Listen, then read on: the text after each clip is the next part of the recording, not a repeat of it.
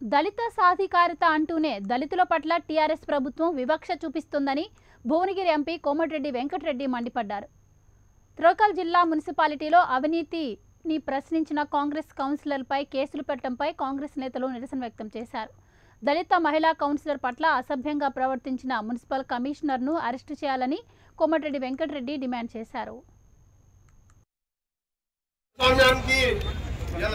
రోజు.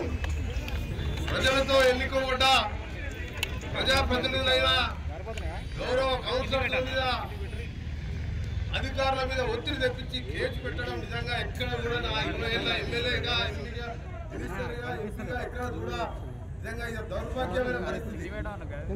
ఏదైనా అధికారి ప్రజల సమస్యల మీద అధికారి దగ్గరికి పోయి ఏమైనా మాట్లాడినా అధికారి ఓపికగా ఉంటాడు తప్ప ఇంత ఎన్నికైన కౌన్సిలర్ల మీద మహిళా కౌన్సిలర్ల మీద దళిత కౌన్సిలర్ హింసించి కేసులు పెట్టడాన్ని తీవ్రంగా ఖండిస్తూ ముఖ్యమంత్రి కేసీఆర్ ఒక్కటే గుర్తుపెట్టుకో నిన్న మొన్ననే ఓట్ల కోసం దళిత బంధువులు మాట్లాడి ఇవాళ నీ అధికారి ఒక దళిత మహిళని దూషించితే నీ నోరు వెనుకకుండా ఇప్పటికి ఎందుకు యాక్షన్ తీసుకోలేదు ఒకసారి